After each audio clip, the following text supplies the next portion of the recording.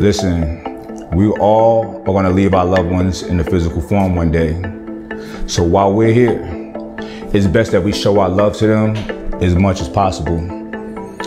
I've personally taken voyages to the center of the universe and I've dedicated my life to God.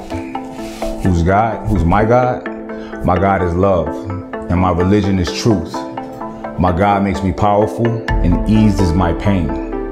Love governs all of my actions. I love my family and my close friends more than I can express to them. I'll always honor and protect them.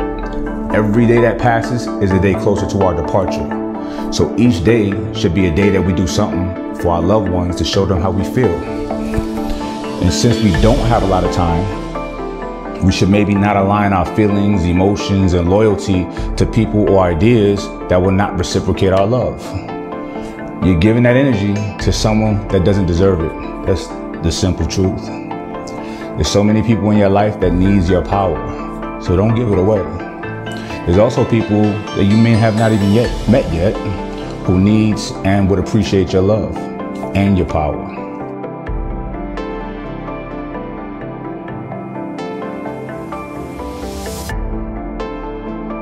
feelings and beliefs, they don't always align with the truth. That's a fact.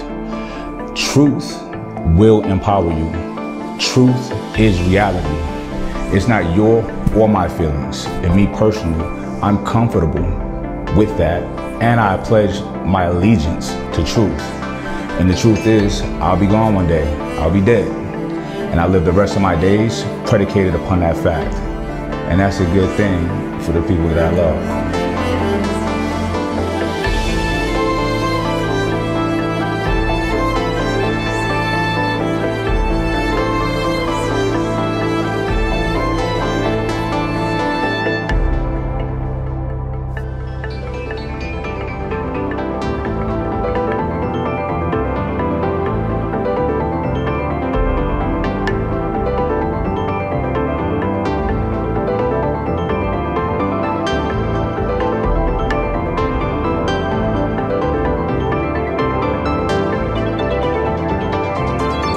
I literally live every day of my life knowing that one day I'm gonna die.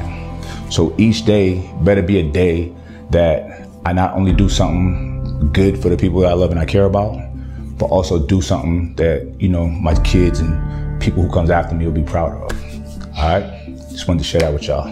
Peace.